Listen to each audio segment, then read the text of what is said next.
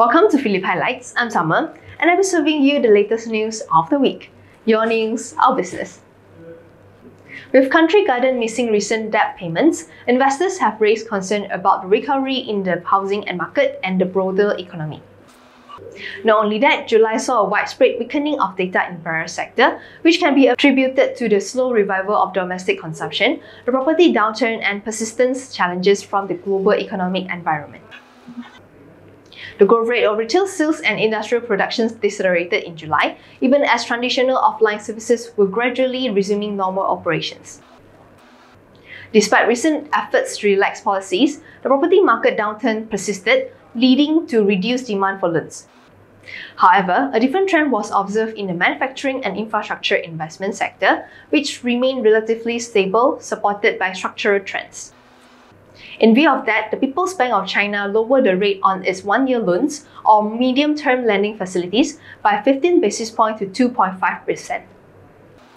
Believe more policy easing is likely and the PBOC is likely to stay accommodative for longer.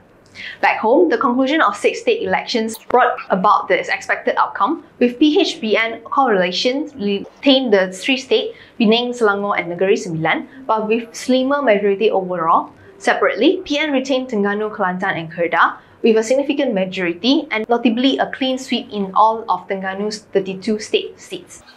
It also made inroads in Penang and denied the unity government's two-thirds majority in Selangor. Despite this, we believe the unity government can now rule with certainty until the next general election.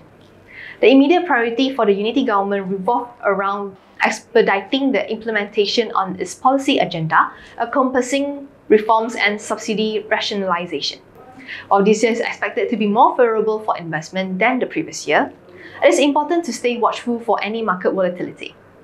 Phillip Capital Malaysia's provide a comprehensive list of products, including discretionary private managed account and unit trust that offers to retail investors, high net worth individuals, corporations, and institutions.